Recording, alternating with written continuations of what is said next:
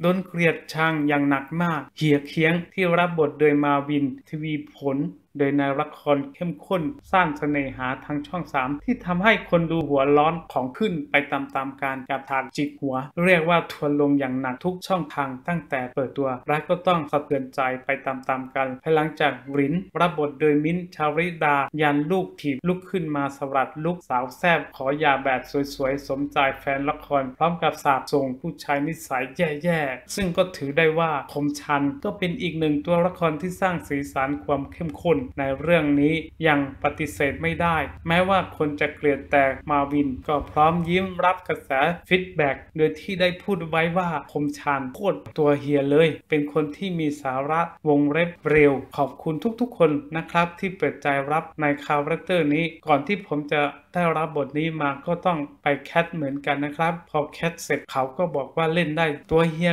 มากๆเลย ที่ได้บทนี้มา แล้วก็พูดถึงการเข้าถึงตัวละครเรื่องนี้ว่าถ้าหากพูดจากใจจริงเลยนะครับ คนใกล้ตัวของเราก็มีคนที่เป็นแบบนี้อยู่จาก ในครอบครัวเราเลย หรือว่าในสังคมไทยเราก็จะเห็นอยู่เป็นประจำที่ภรรยาเป็นที่รับอารมณ์ ด้วยภาพที่เห็นด้วยสิ่งต่างๆ ที่ออกมาตามสื่อเราก็เข้าใจได้ว่ามันเป็นไปอย่างนั้น พอเราแสดงก็หาแกนมายึดว่าความคิดเนี้ยมันคืออะไรถึงจะรู้สึกแบบนั้นได้ อยากจะให้ทุกๆ คนรอดูนะครับ ว่าสุดท้ายปลายทางเฮียเคียนจะไปอยู่ในจุดไหนกัน